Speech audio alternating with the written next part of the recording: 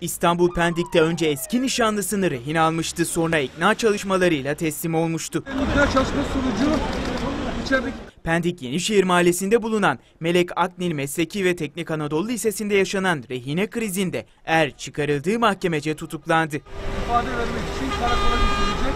Umut D. birliğinden kaçtığını söyleyerek eski nişanlısı HD ile aralarında sorun olduğunu iddia etti. Yaklaşık bir buçuk saat süren müzakerenin ardından zanlı polise teslim olmuştu. Emniyete sevk edilen Umut D. tutuklandı.